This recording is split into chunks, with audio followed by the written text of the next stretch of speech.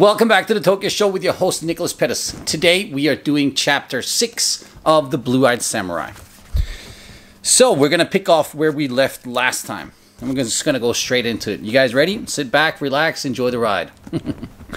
okay, so I spent the next month praying that it would get a chance to do Kumite with Todd before he would get himself kicked out, but it was not to be. One day he was supposed to be working in the office when Sosai had walked in to find him sitting with his feet planted up on the table. Yeah, this is actually a true story. He was uh, just uh, drinking a cup of coffee on Sosai's desk with his feet up on Sosai's desk. So the first thing Sosai said was, that's it, you're out of here. Anyway, he called up the Australian branch chief and told him to come and pick up his boy. Todd, being as stubborn as he was, just stayed in the dorm, figuring out that this would blow over soon. He actually thought that he would not get kicked out. But he did get kicked out. Much to the enjoyment of all us other Uchideshi, because we were at that point completely fed up with him. Anyway, he ended up packing up his things, and I ended up never getting a chance to have Kumite with him. And you know what? Even till this day, I still regret that. I would like to have kicked his ass. Honestly, he really deserved the hiding, that guy. Anyway, it is what it is, you know, um, and it's like 30 years ago, so who cares anyway? Uh, fighting for honor in the dojo is never really worth it. Uh, it had been, if it had been in a tournament where everyone could see it happen, then there would be some kind of value to this. But in the dojo, like really, what really happened, who really did what, who really did anything at all, is only down to the people who were there at that time. So it is what it is. There are many urban legends about street fights and many urban legends about, you know, someone kicking someone else's ass in the dojo or, you know, but the truth is, eh, if you cannot do it in a tournament, then you really can't do it. It's that simple. So uh, all those gym champions that are out there and just um, feel that they are, uh, you know, legends all by themselves, let's just uh, get it straight right now that if you haven't done it in a tournament, then you haven't done it at all. That's how I look at it. That's how I will always see it. And some kid like this, this guy Todd here, uh, who came in and almost like ruined my experience as a uchideshi, I am actually glad to say that he got kicked out for being such a uh, unfit a material for being an uchideshi. Um, only the serious people survive on this one. Anyway, so at this point, it was then just Mahashi and I that were left in the dorm. Uh, the boys, the other big boys, had run away during the night uh, a few weeks earlier, and after that, everyone uh, hadn't heard anything from where they went. Uh, I was starting to pick up a few words in Japanese here and there, and sometimes at night, Ligo would teach me uh, some Japanese, and this was actually really helpful. Uh, thank you for that, Ligo. You really were a good friend back then. Mahashi would also take the time to teach me some things here and there, and he would always correct me whenever I said something wrong. I don't remember at what kind of rate I learned to speak Japanese, but within a year I had a pretty, pretty good conversation level. So, Saturday evening was reserved for the dinner with Sosai and all his uchideshi. It was a feast worthy of, like, kings, honestly. Uh, there would be a deep fried pork chop, a tonkatsu, a whole flat fish, which is like a himono, like a, a dried kind of fish thing, uh, fried to a crisp. And then there would be a big plate of chopped salad and a big bowl of rice, and then also a big bowl of chicken soup, which is called mizutaki. Now, I'm to go off script once again here. Um, and this is how it is, right? So we're sitting uh, for we're sitting at the table, right, all the way down, up at the end, at the head of the table. Sosai would come in and sit down, and he would watch all the uchideshi eat, right. So there would be the third year students, the second year students, and then the foreign students or the first year students way at the back. Now I'm gonna uh, try and reminisce a little bit on how it is to have dinner with Sosai. Uh, at first, we all wait for Sosai over at Hombu um, and for him to come down from his office. And it uh, starts about uh, 6.30. So he comes down. We're all lined up outside Hombu, standing there like this, waiting for him. When he comes out, everyone goes, ni os! And everyone does a big os. Sosai comes out like this. Ooh, mm, he's wearing his hat, really nonchalant, with a Hawaiian shirt often. And we then all walk together back to uh, the dormitory. Now remember, we believe that he was a living God, so it was forbidden to walk on his on his shadow. So we're following him around the dorm and there, and it's you know uh, light evening, so the sun is kind of going down and stuff like that. And there's this um, ominous uh, you know aura about the whole situation. It, it really feel like we're escorting a god into our uh, dormitory. He comes in, and sits at the end of the table, and then everyone sits there, waits for it, and says, "Oh, tabemashou," and he goes, uh, "Let's eat." And then everyone goes, "Oh, itadakimasu." and then it's completely silent, right? So the first time I had the dinner with Sosai, and this is hilarious, I was told by my senpai, you have to eat three bowls of rice and three bowls of chicken soup and everything else that's on your table. So you have this uh, deep fried pork on one side, you got this like mountain of chopped salad, right? And then you've got a fish, and then you got the two massive bowls of both rice. And the bowls, they come like this, like at the topping of rice, like not just a flat bowl of rice, but like a mountain of rice. So um, I wanted to win. Like I just wanted to win at everything, right? So I thought it was a game. Uh, we sit down, we uh, we start eating, right? And I'm like eating faster than everyone else, and I was wondering, like, it was so uh, weird, right? Because I was the first one to go in and take an extra bowl of rice, and then I was the first one to take an extra bowl of chicken soup, right? They have these massive pots on on the table, right? And then so I finished it, and I was like, yeah, man, this is great, this is great, I'm winning, right? And then I so I go in for the the third bowl of rice and the third bowl of chicken soup, right? And then before anyone else, no one else had even, I think no one else had taken an extra bowl at that point. And we're like 30 minutes into the dinner, I think. And then so I finished my third my, my third uh, bowl of rice and my third bowl of chicken soup. And I'm like, put my chopsticks down, like, yeah, I did it, I won, right? And then I sit down like that. And then suddenly I hear this booming voice. Like everyone's completely quiet, by the way. He goes, mm, Da Costa. And he goes, he goes, Da Costa. Now, I got to explain this. Uh, back in the day, there was a very famous British fighter called Nicholas Da Costa. And in the world tournament, he had some incredible results, right? And so uh, Sosai had not really learned my name, but I guess that he, like, you know, made the reference to Nicholas Da Costa and me being Nicholas. So he called me Da Costa. And that went on for quite a while, actually. It's very funny. Um, so anyway, he goes, mm, Da Costa. And I'm like, oh, I didn't even say "os." It's like, like one of my senpais had to kick me under the under the table, say he's talking to you, man. And I was like "os."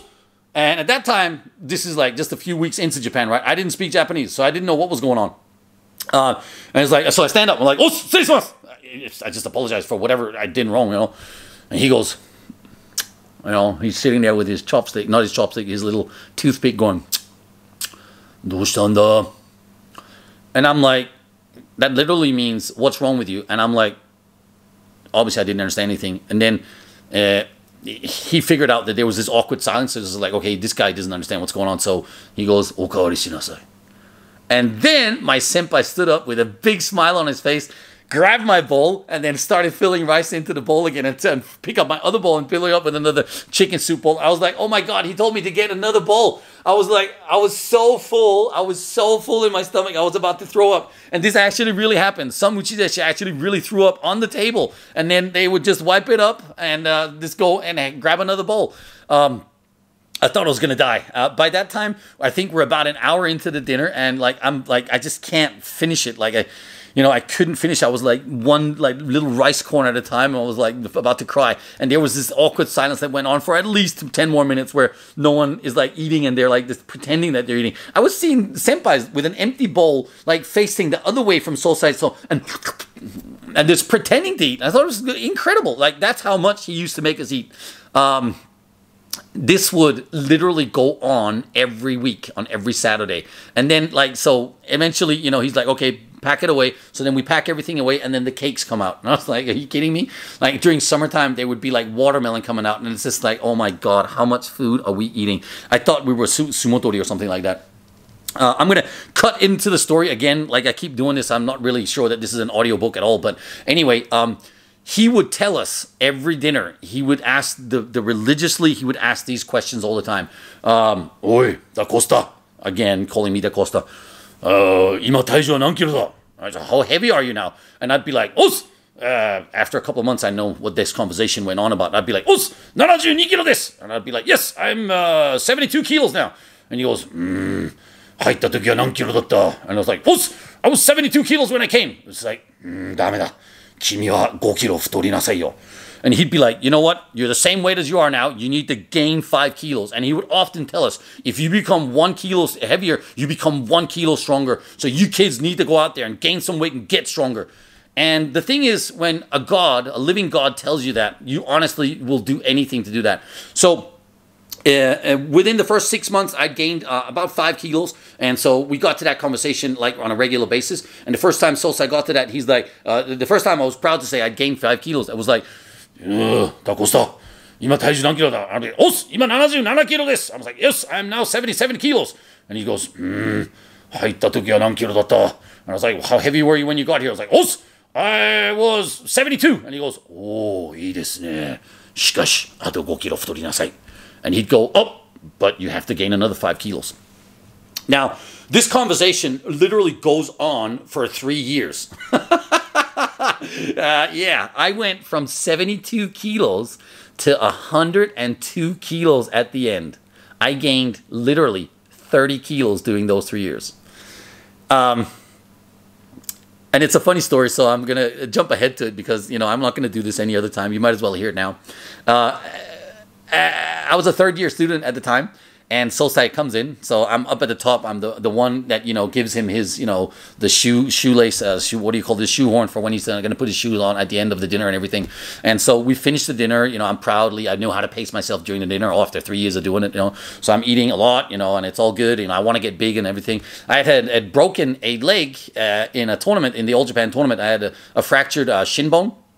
Uh, so I was out of uh, out of commission there for a while. Yeah, I broke a lot of bones while I was training there, um, and um, so I couldn't really work out properly uh, for about a month or a month and a half or whatever it was. And so at that time, I was like, this is it. You know, I went from 70, not 70, I went from 96 kilos to 102 kilos in like that one one month or something, right? So it was like a five, six kilo gain within like a month or two. And it was crazy. I was like huge, right? And um, so Sosai, is, we, we finished that dinner. This is the last time I had a dinner with Sosai, by the way. And uh, on the way out, I'm standing there holding the shoehorn. I go, oh, Sosai, dozo. And by this time, I spoke uh, fluent Japanese pretty much. Um, and he goes, he touches me. He goes, うん、しかし君は立派になったね。And he goes, you, you really got big, eh? And he goes, uh, you uh, How heavy are you now? And I'm like, I was super proud, right? Because he had told me for three years, every time I told him at, at, at 85, he goes, Oh, you need another five kilos. At 90 kilos, like, you need another five kilos. At 95 kilos, he's like, You need another five kilos. And so I was 102. So I was like, I had completely done exactly what he told me to. And I was super proud. So I goes, Os, ima, 102 this. I'm 102 kilos. And he goes, Hmm. And he's looking at me, sizing me up and down. He goes, I was like, how heavy were you when you came here? I was like, uh, seriously, this conversation went on for three years. And so, so I go, oh, 72 kilo deshita. And I was super proud, right? I was like, yeah. And he goes, hmm. しかし君は太りすぎだ。he goes, oh, but you got too fat. oh, it's so true. Oh, he had a very keen eye for that. Yeah. Um, the truth is, I was at 102 kilos. I was too big, and I was like, yeah, it's not healthy. Uh, currently, right now, I'm just at 100 kilos, so I'm about the same size as I was back then, which is kind of hilarious. Um, once I started back training again, uh, the body went down to a natural 96, 97 kilos, and that was pretty much my fighting weight until I started the K1. Okay, that was the Sosai dinner that went completely off script here. I'm going to skip ahead to it here. Uh, let's see how we go. Uh, yeah, during the colder months it would be cakes and green tea, and during the hot summer months it would be watermelon. It was still cold enough for us to get the cakes, and being a first year, we were not allowed to go out and buy anything from the store, so I was really craving something sweet, and so the cakes really made my mouth water. But I was full to the brim, and even walking was painful. Uh, it was like going through a mental struggle. I had no idea uh, that eating that much food could be so hard for me. But there were three cakes in front of me, and hey, why not? It was yummy. It was like super yummy. I wanted to cry, but after all that time for craving sweets, I just didn't feel I was up for it. I didn't think I could be able to fit another bit in my uh, bite in my mouth. But once again, there was no escaping. I knew I would have to eat it, and surprisingly, it did. It went down nice and smoothly. It was nice to get some sweets, but the pleasure uh, was kind of destroyed by the fact that I was about to throw up from eating so much from the dinner. Uh, we had to open our waistbands um, during those dinners every time, actually. Yeah, and uh, Honestly, uh, this was actually the Sosai Dinner episode that I wanted to go over in today's episode. Um, next time, we're going to go into Chapter 7. And uh, all I want to say is I hope that you enjoyed what you watched today and that you come back and watch the next of the story. Thank you very much for watching the Tokyo Show today with your host, Nicholas Pettas.